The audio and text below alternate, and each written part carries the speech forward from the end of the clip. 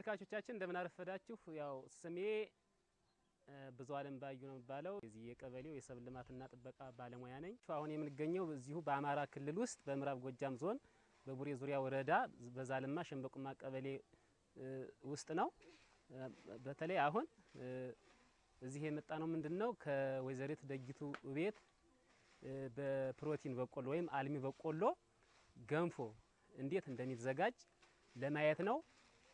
አልሚ በቆሎ ማለት ብዙ አይነት ዝርያዎች አሉት። 760 እና 545 እስካሁን ድረስ በቀበሌያችን የተሞከሩ ባለፈው አመት 760 እና 545 የሚባሉ ዝርያዎች ነበሩ። ከዚህ ውስጥ በጣም ጠቀሜታዋ የጎላና ለአካባቢው የተላመደችና የተገኘችው 545 ዝርያ ናት። አርሶ አደሮ የመረጣት ማለት ነው። ከዚያች በቆሎ ዱቄት አዘጋጅተን ገንፎ እንዴት እንደሚዘጋጅ አሁን ለማየት ነው እዚሁ የቀረብ ነው እና ይቺ 545 ገንቢ በቆሎ ለህፃናት፣ ለአዋቂዎች በተለይ ለነፍሰ ጡርና ለሚያጠቡ እናቶች በጣም ገንቢ ናት። ከመቶ 90 ፐርሰንት አልሚነት አላት። ከአካባቢያችን በፊት ከነበረው በቆሎ በጣም ተሻሽላ 90 ፐርሰንት ያህል ገንቢነት ይዘት አላት። የገንቢነት ይዘት አላት። ከዚህ የተነሳ ለነፍሰ ጡር እናቶች፣ ለሚያጠቡ መጫቶች እንደዚሁም ለታዳጊ ህጻናት በተለይ ከአንድ አመት እስከ አምስት አመት ላሉ በጣም ወሳኝ ለአእምሮ ቅልጥፍና እና ለአካል ብቁ ሁነው እንዲያድጉ የተዋጣላቸው እንዲሆኑ ሙሉ ጤነኛ እንዲሆኑ ሰውነታቸው ተገንብቶ ያው ጥሩ ዜጋ እንዲሆኑ ታደርጋለች። አሁን ቀጥታ ወደ ገንፎ ዝግጅት ነው የምንሄደው። ያን እናያለን።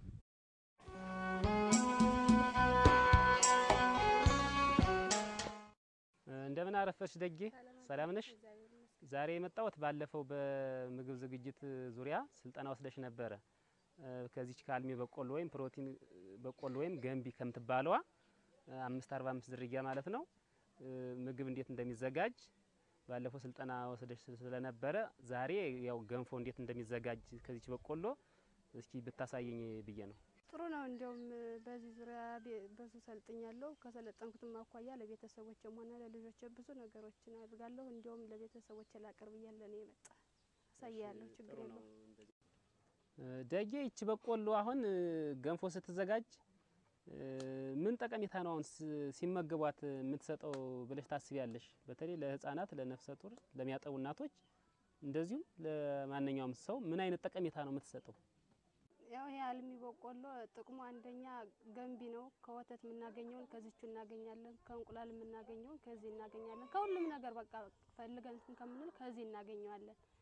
ይቺ በቆሎ ደግሞ ጥቅሟ አንደኛ ገንቢ ናት። ሰውነትን ይገነባል፣ ጤንነትን ይሰጣል፣ ያጠነክራል። አብዛኛውን ጊዜ ለእናቶች ለወለዱ እናቶችና ለህፃናት እንዲሁም ለሽማግሌዎች ብንሰጥም ጥሩ ነው። አንደኛ በቀላሉ ማምረት እንችላለን። ከበፊቱ በቆሎ ድሮም ከበቆሎ ይደረጋል እና ከዚህ የተሻለ ደግሞ ይሄንን ብዙ ነገር ስላለው ይሄኛው ብናደርግ የተሻለ ይሆናል። የአልሚ በቆሎ ገንፎ ለማዘጋጀት የሚያስፈልጉን ነገሮች ሁለት ጆግ ውሃ ያስፈልገናል። ከዛ ቀጥለን ደግሞ በትንሿ ሰርቪስ ላይ ሁለት ዱቄት ያስፈልገናል። ከዛ ቀጥለን ከፈላ በኋላ አሻቦ ሁለት ማንኪያ ያስፈልጋል። ከዛ ቀጥለን ማባያ ግማሽ ብርጭቆ በርበሬና እዛው አንድ መለኪያ ዘይት ያስፈልጋል። እሺ እንግዲህ አሁን እሳት እናንዳለን። እሳት ካነደድን በኋላ ደግሞ ብረት ድስታችን ላይ ትንሿን ዘይት እንትን ስናገነፋ እንዳይዝብን እናደርግበታለን።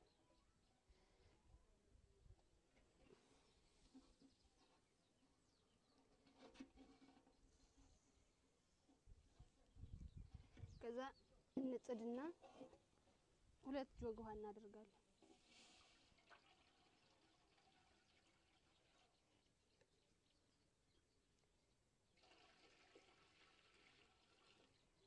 ከዛ በኋላ እስኪፈላ ድረስ እንጠብቃለን። ብረት ድስታችን እንፈጥናለን።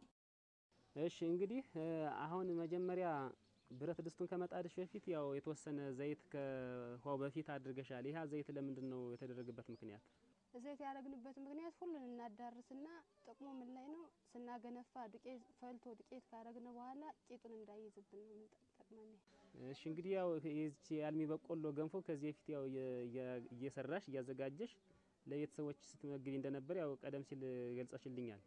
እና እንዴት ነው አሁን ቤተሰቡ በዚች አልሚ በቆሎ ገንፎ ላይ እንዴት ነው ያለው? ወደውታል ወይስ እንዴት ነው ቤተሰቡ? ይህንን የአልሚ በቆሎ ገንፎ ለቤተሰቦች አቅርቤም ጥሩ ነው ተቀብለውታል። ለሰውነታቸውም ገንቢ እንደሆነ ተረድተዋል። ሁሌም ይህን ባዘጋጅላቸው ደስ ይላቸዋል።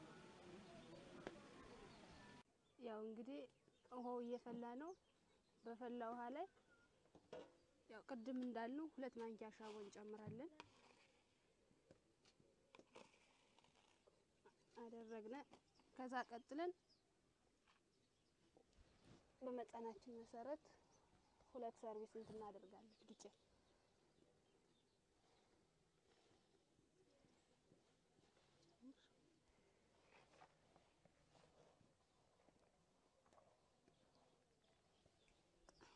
ካደረግን በኋላ በደንብ እናማስላለን።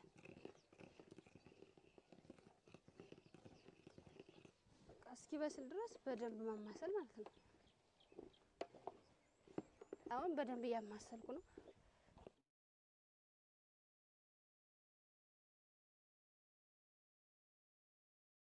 እሺ አሁን እንግዲህ በቃ ገንፎ በዚህ መልኩ ተዘጋጅቶ በሰለ ማለት ነው አይደል? አዎ በሰለ። ስለዚህ አሁን በቃ ቀጥታ አውጠን መመገብ እንችላለን ማለት ነው። አዎ እንግዲህ በሚፈለገው መጠን እ እናቀርብና መጀመሪያ የምናወጣባትን ሰርቪስም ሆነ ዳታን ዘይት እንቀባታለን እንዳይዝ ማለት ነው። ዘይት የምናደርግበት እንዳይዝ አዎ። ከዛ በኋላ ዘይቱን ካደረግን በኋላ በርበሬና ዘይታችን እናገናኝና ለምግብነት እናውለዋለን። ዘይትና በርበሬ ያገናኝተን ያው በማንኪያ መመገብ ማለት ነው። አዎ አሁን እንግዲህ ገንፏችን ልናወጣ ነው። በማድረገው አውጥቼ በምገለብጥበት ሰርቪስ ላይ ዘይት እንቀባለሁ። ይሄ ዘይት ደግሞ የሚቀባ ጥቅሙ ምን ላይ ነው? ይሄኛው እንዳይዝብን እቃውን እንዳይዘው ማለት ነው። አዎ እንግዲህ አሁን ቀጥታ አውጥቼ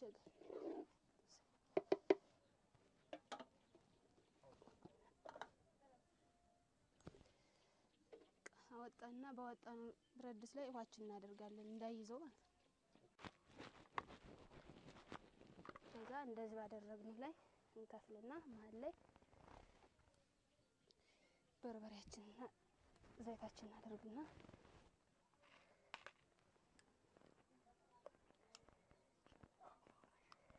በርበሬያችን በማንኪያ እናደርግና ከዛ ዘይታችን እናደርጋለን እናገናኝና ለምግብነት እናውለዋለን። ከዚህ በኋላ ቀጥታ መመገብ ማለት ነው። ቀጥታ እንመገባለን። አዎ ቆንጆ ነው። በጣም አሪፍ እንግዲህ ከአልሚ በቆሎ ገንፎ አዘጋጅቼ አሳይቻለሁ። እስኪ አሁን ደግሞ ቅመስና አስተያየትን እስኪ አሪፍ ነው። ገና ሰውነታችን ሳይገባ እንዴት አይነት ባህሪ እንዳለው ገንፎ በጣም ደስ የሚል ነው። ከዚያኛው በቆሎ በጣም ለየት ይላል። ጣዕሙም ሆነ ያው አጠቃላይ ለዓይንም ሲያዩት ራሱ ቆንጆ ነው። እችም አርሶ አደሮች እንደዚህ እንዳንቺ ሰርተው አጠቃላይ ለቤተሰብ አባላቸው እንዲመግቡ ነው እኔ እንግዲህ በዚህ አጋጣሚ መክረው። ስለዚህ ያው ማንኛውም ሰው በዚህ መልኩ ገንፎ ተመገበ ማለት ቀጥታ ፕሮቲን ነክ የሆኑ ምግቦችን አገኘ ማለት ነው። ስጋ፣ እንቁላል ማግኘት ማይችል ሰው ከዚህ አሁን ገንቢ ምግብ አገኘ ማለት ነው። ስለዚህ አሁን ደጌ ይህንን እንግዲህ የመሰለ የአልሚ ምግብ በቆሎ ገንፎ ከአንቺ በተረፈ እንግዲህ በአካባቢሽ ላሉ አርሶ አደሮች እንዲሁም ለሌሎች ሴቶች ያለሽን ልምድ ለማካፈል ምን ያህል ዝግጁ ነሽ? እንግዲህ አሁንማ ለህብረተሰቡ በአካባቢም ላለው ህዝብ ምን አይነት ጠቀሜታ እንዳለው ሰውነትን እንደሚገነባ እንቁላልና ስጋ በቀላሉ ማግኘት የማይችሉ ህብረተሰቦችን ይሄን ብትመገቡ እንቁላልና ስጋ እንደተመገባችሁ ይሆናል፣ ሰውነታችሁን ይጠግናል እያልኩኝ እየዞርኩ ከቤተሰቦች ከጎረቤት እየሄድኩ አስተምራችኋለሁ። እሺ እንግዲህ ያው ቀደም ሲል ያው ከአጠቃላይ ይህን ገንፎ ለማዘጋጀት ከሚያስፈልጉን ቁሳቁሶች ጀምሮ አጠቃላይ እንቅስቃሴውን እስካሁን ድረስ አሳይተሽ ለዚህ ደረጃ ደርሷል ገንፎ። ያው ቀምሼም አረጋግጬዋለሁ። በጣም ደስ የሚል ምግብ ነው እና ይህን ሁሉ ትብብር በማድረግሽ በጣም በጣም ከፍ ያለ ምስጋና ነው ማቅረብ የምፈልገው። እኔም አንቺም ሆነን እንግዲህ ወደፊት አጠቃላይ በዚህ በቀበሌያችን ነዋሪ ለሆኑት እና አዘገጃጀቱን ለማያውቁት ይህንን በቆሎ እያመረቱ እንዲመገቡ ያው በሰፊው ትምህርት እንሰጣለን ማለት ነው። ለዛሬው ላደረግችልን ትብብር በጣም ማመሰግነው በጣም no no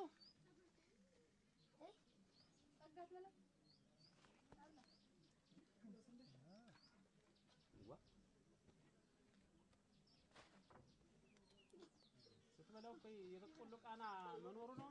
ልክ ሌላ እንቁላል እንደበላ እኮ ነው የሚቆጥረኝ።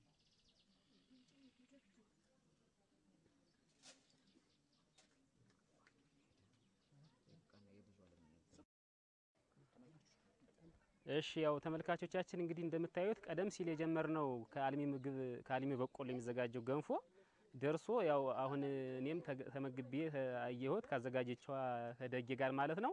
ያው ህጻናትም ያው በየደረጃው እየተመገቡት ነው። ያው ጣዕምናውንና አስፈላጊነቱንም ያው እየተረዱና እያረጋገጡ ይገኛሉ። ስለዚህ እናንተም በያላችሁበት ይችን በቆሎ በማምረት ማለት ነው ወደ ተለያዩ የምግብ አይነቶች እየቀየራችሁ እንደዚህ በገንፎ መልኩ እና በሌላም የምግብ አይነት ማለት ነው እንድትመገቡ ያው ማሳሰቢያን ያው ለእናንተ አደርሳለሁ። አመሰግናለሁ።